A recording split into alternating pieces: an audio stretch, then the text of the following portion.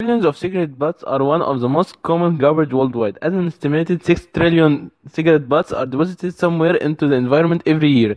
They take ages to break down while their toxic chemical load is released into creeks, rivers, and oceans.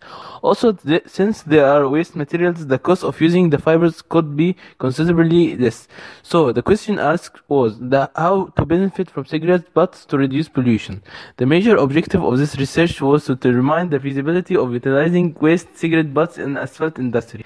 In this study, we demonstrated that asphalt or bitumen made from cigarette butts can handle heavy traffic and also reduce thermal conductivity. Encapsulated cigarette butts with bitumen and paraffin wax to lock the chemicals and prevent leaching from the asphalt.